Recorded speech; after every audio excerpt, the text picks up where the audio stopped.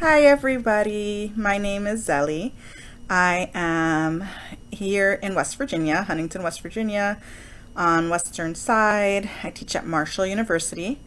I am 38, going on 39, and I am putting my name out there for, to be a summer box reviewer. Um, for summer, it's uh, pretty much the only time that a lot of us are uh, professors. A lot of, the only time that we have kind of left. Um, any of the other times that these review boxes have come up, I've just been like, eh, yeah, there's no way I can squeeze those extra hours in my day. Um, but one of the wonderful things and one of the reasons I really want to do this is because I keep going back and I keep comparing myself. I guess that's the best way I think but um, I compare myself with like who I was. So, like I said, I'm turning 39 next week, and it's like every time I look in the mirror, um, you know, I see like, oh, you got a new line, your cheeks are sagging right here.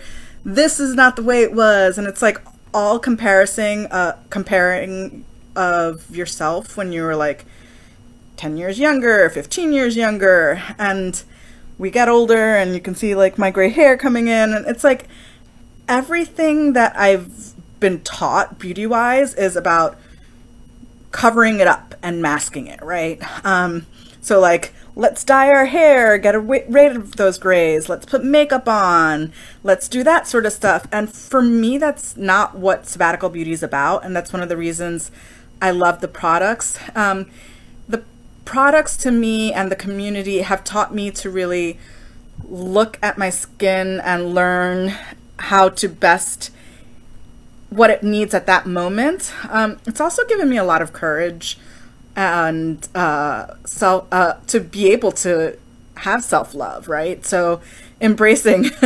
um, I think the night before my wedding, I had like these really dark eyes. I was like, okay, so I got dark eyes. Wedding pictures, we're good. It's okay. Um, but it's also this idea of knowing that if there is something, I can reach out to the community. Um, my friends laughed at me this past February. I was at a conference and, you know, I had my hotel room spread out with sabbatical beauty products and I forced them to come in on that last night to do masks um, and to just try them just because it was one of those moments where I felt like we all really, really needed that um, to just let go of the conference uh, because and I learned how to do that because that was something I learned from you guys from the sabbatical beauty community.